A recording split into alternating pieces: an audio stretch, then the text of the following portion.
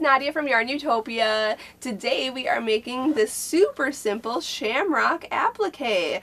This is for any person who is Irish, anybody who loves St. Patrick's Day, anything to do with St. Patrick's Day. Actually, I'm getting married on St. Patrick's Day, so that's super exciting.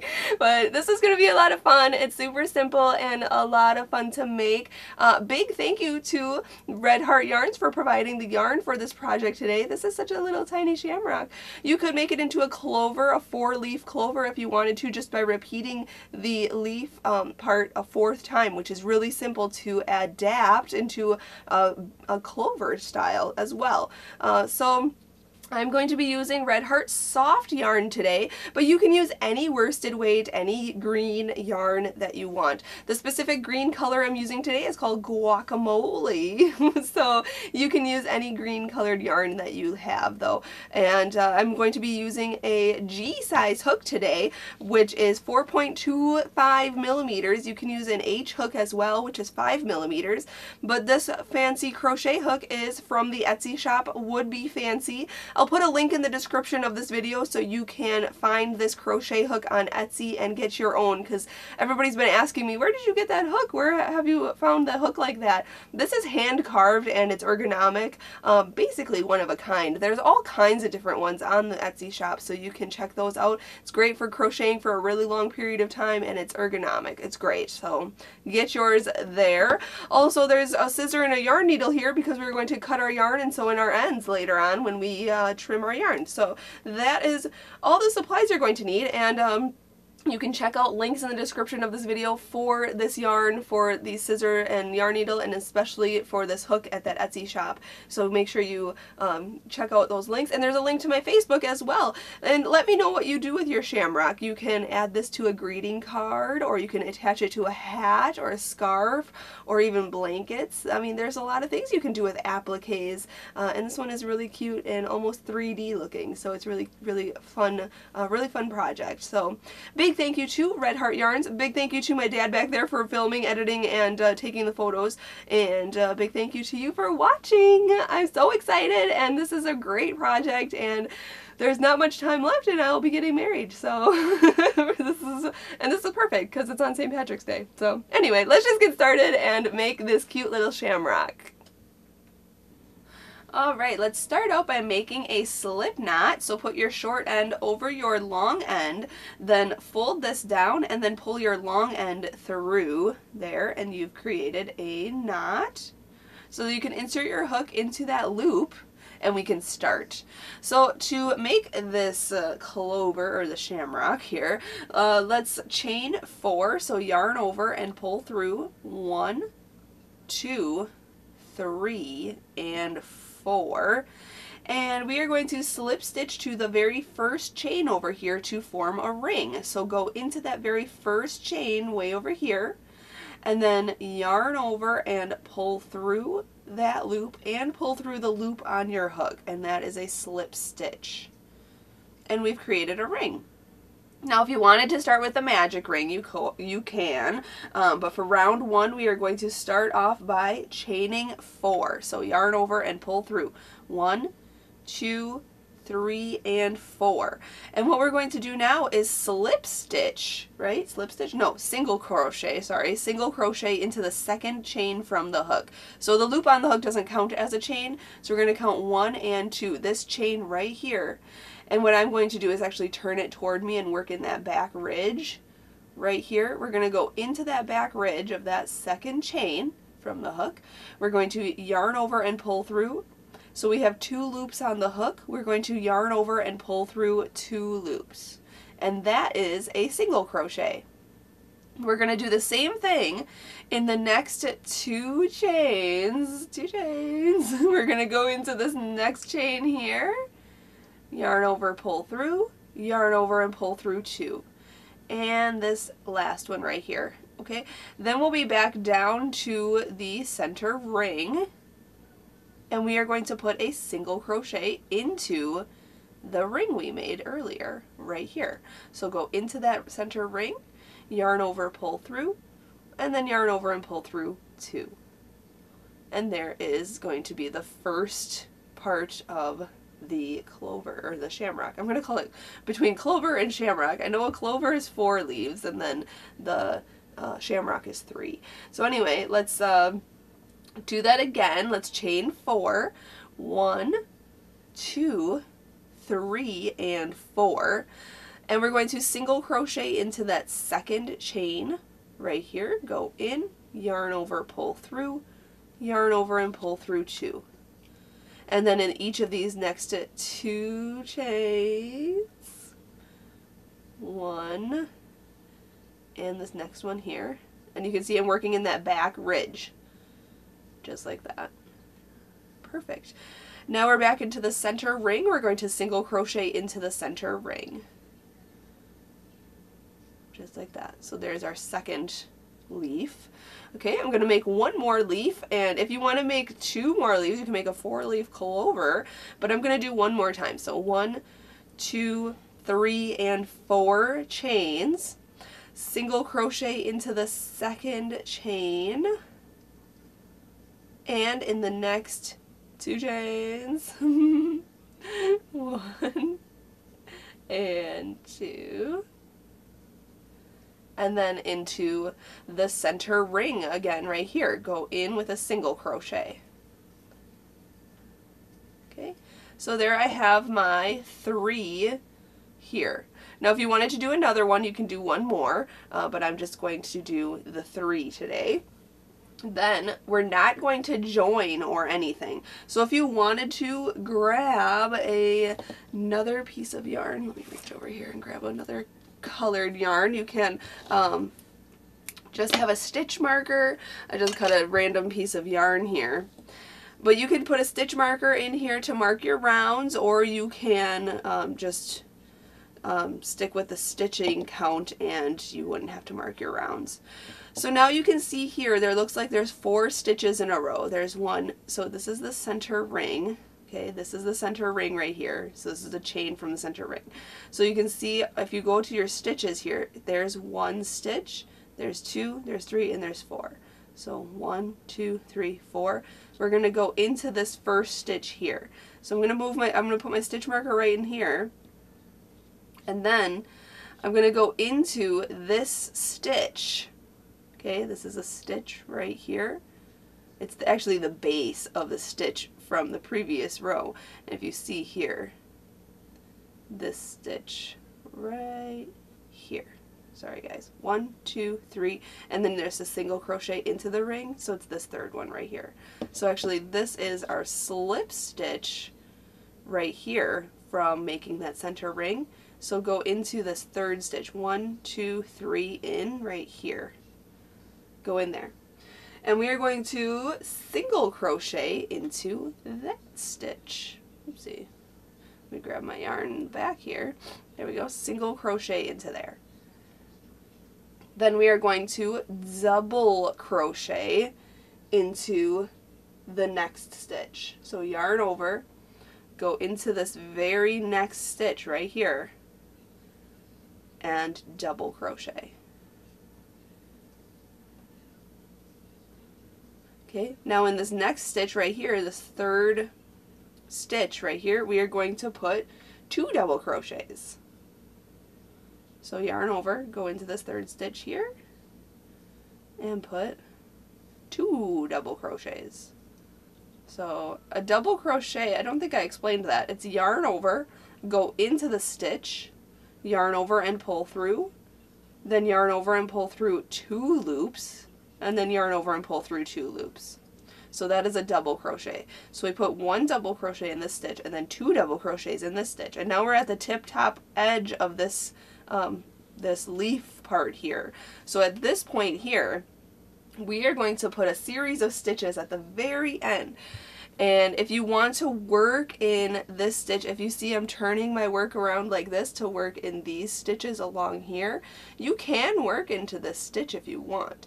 So what I'm going to do is yarn over, we're going to put two double crochets at the very end. So you can see that chain one right there. I don't know if you can see it very well, but this uh, chain one right here, you can insert your hook into that or if it's too difficult to stick your hook in there, you can go into this stitch right here. okay? And that's probably what I'm going to do anyway. So yarn over, go into that stitch, yarn over, pull through, yarn over, pull through two, yarn over, pull through two. We're going to put two double crochets. So yarn over again and go in, yarn over, pull through, yarn over, pull through two, yarn over, pull through two. Now we're going to make a slip stitch because we want to come in on the end of the of the leaf. So go into here, no yarning over, just go into that same stitch. Then yarn over and pull through and pull through the loop on your hook. Okay, and that makes this round come inward.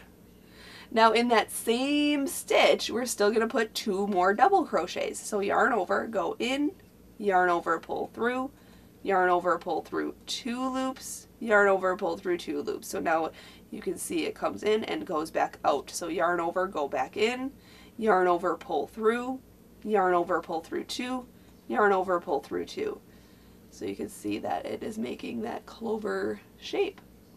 Now we can hop to this next stitch right here. We are going to put two double crochets in there. So yarn over, go in, yarn over, pull through, yarn over, pull through two, yarn over, pull through two, and another one in that same stitch. Perfect. Now, in this next stitch right here, we are going to put a single crochet. So go into that stitch, yarn over, pull through, yarn over, pull through two. And in the next stitch right here. Put a single crochet. So go in, yarn over, pull through, yarn over, pull through two. Okay? So we are going to repeat now what we did from this point around to this point here. So on this piece right here. So there's those three stitches. So what did we do? We put a single crochet in this next stitch here. Then we put a double crochet into this next stitch right here. Then we put two double crochets in this last stitch on this side here. One and two. And then in this very end right here, if you wanted to work in that chain one, or you can work in this stitch, which I find much easier, you can put two double crochets, one and two, then a slip stitch, so go in, yarn over, pull through, and pull through the loop on your hook, slip stitch, and then put two more double crochets in that same stitch. One and two. Okay, then put uh, two double crochets into the next stitch. One and two, and then we single crochet into this next stitch. And that is the second leaf. So now we just have this one more leaf. I'm going to do that and when I come back around, um, when I'm, I'm just going to repeat that. So it's a single crochet in this next stitch, then a double in this next, then two doubles, and then we have, or actually it's a single crochet too. So we want to make sure that there are these three stitches here. Okay, so we have a single crochet in this stitch that was in the center ring. So just do your last leaf here. We have a single crochet, then a double crochet, and then two double crochets in there. And then we do our end here and you can see that the end is come it goes in and then comes back around like that okay? So just rewind this if you need to to do this part here and then I'll meet you up and we will go on to the next step. Alright so if you have one stitch left on this piece here so I did the whole uh, leaf here and we ended with the two double crochet and then a single crochet in that stitch. I have one stitch here, we're going to single crochet in there, just like that, so it should end at two single crochets, very similarly to how we ended this other one too. We had two single crochets in there, and then we started with a single crochet of that other one. Anyways, going on to our next round, round three, you can move your stitch marker up if you want to. And what we're going to do now is put a single crochet into these first two stitches. So in this next stitch right here, put a single crochet. And in the stitch after that, we're going to put a single crochet. Now, in this next stitch, we are going to put a half double crochet. So yarn over, go into that next stitch there, then yarn over and pull through, and then yarn over and pull through all three loops on your hook. Okay, that is a half double crochet. Now in the next stitch, we are going to put two double crochets. So yarn over, go into this next stitch, yarn over, pull through, yarn over, pull through two, yarn over, pull through two. And again, yarn over, go back in, yarn over, pull through, yarn over, pull through two, and yarn over and pull through two. We're going to do the same thing in this next stitch right here. So put two double crochets in this next stitch. So one and two. Now in this stitch right before the slip stitch right here, we are going to put a, let's see, a two half double crochets. So yarn over, go in to this next stitch, yarn over, pull through, and then yarn over and pull through all three loops on your hook. And do that again. So yarn over, go back in, yarn over, pull through, and then yarn over and pull through all three loops on your hook. Now in this slip stitch, if you can see the slip stitch, you want to put a slip stitch into the slip stitch. so go into the slip stitch if you can see it and insert your hook. It's going to be quite tight. Yarn over and pull through and then pull through the loop on your hook and pull tight. And now we're going to kind of do opposite of what we did on this side for this side. So half, put two half double crochets in this next stitch right here. Two half double crochets, one and two. Then put two double crochets in the next two stitches. So in this stitch, put two double crochets, one and two. And in this next stitch right here, put two double crochets, one and two. Okay, now in this next stitch, we are going to half double crochet. So yarn over, go in, yarn over, pull through, yarn over, pull through all three and then we're going to just single crochet into these next two stitches. But then we're going to repeat what we did, and so the first stitch of this next leaf right here gets a or the first two stitches actually get a single crochet. So it's basically like you're single crocheting four stitches in a row now because you end this leaf with two single crochets but then you start this leaf with two single crochets. So we're basically just going to repeat what we did for this leaf on this leaf and this leaf. So I'll show you again. We're going to go a little bit faster now. We're going to single crochet in these first two stitches. Then we're going to half double crochet in the next. Then we're going to put two double crochets in this next stitch. And then we're going to do the same thing in the next stitch. Two double crochets. Then we're going to put two half double crochets in this next stitch, which should be the stitch before the slip stitch. Okay, so put two half double crochets in that one. One and two. And then in this next slip stitch right here, we're going to slip stitch in there. So if you can stick your hook in there somehow, yarn over, pull through, and pull through the loop on your hook. And then in this next stitch right here, we are going to put two half double crochets, one and two. And then we're just going to do kind of like opposite of what we did on this side. So two double crochets in this next stitch, one and two. Then two double crochets in this next stitch, one and two then half double crochet into the next stitch and then single crochet into the last two stitches of this leaf and then just jump into doing the last leaf so you could do that all the way around. I'm just going to finish this last leaf here and when I get back to this beginning point right here, I'll meet you up and we have to make the stem.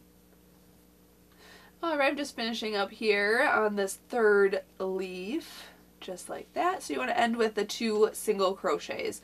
So now this is what your piece should look like. So it's done. We just have to make the stem. So at this point, what we're going to do is let's see here, slip stitch into this next stitch. So go into this next stitch right here, which should be the first stitch. You can remove your stitch marker at this point. Yarn over and pull through and through the loop on your hook. And then we're going to chain nine. You could chain seven if you wanted to have a shorter stem. So one, two, three, four, five, six, seven, eight, and nine and we are going to slip stitch into the second chain from the hook. So the loop on the hook doesn't count, so count one and two.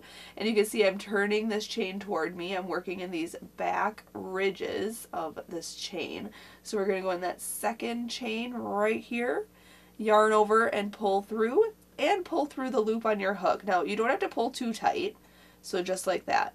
So go into the next one here, yarn over and pull through, and through into the next chain, yarn over, pull through, and through. And we're just doing this in each chain all the way back up to the leaves. So let me get there here. You can just continue watching.